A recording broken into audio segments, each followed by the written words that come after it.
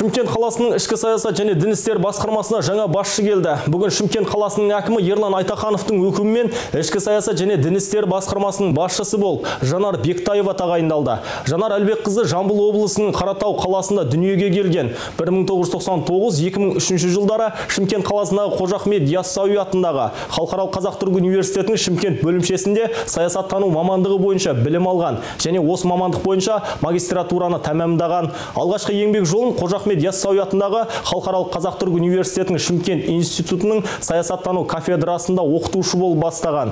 2006-2016 жылдары Оңтүстік Қазақстан облысы ішкі саясат департаментінің талдау және мониторинг бөлімінде бас маман, ақпараттық саясат және бұқаралық ақпарат құралдар мониторинг бөлімінде жетекші маман, бас маман, бөлім басшысы, Оңтүстік Қазақстан облысы ішкі саясат басқарма басшысының орынбасары, Оңтүстік Қазақстан облысы әкімі аппаратының жалпы бөлімінде бас инспектор болып абыройлы қызмет атқарған. 2016 жылдан 2018 жылға дейін Түлкібас ауданы әкімінің орынбасары қызметін атқарды.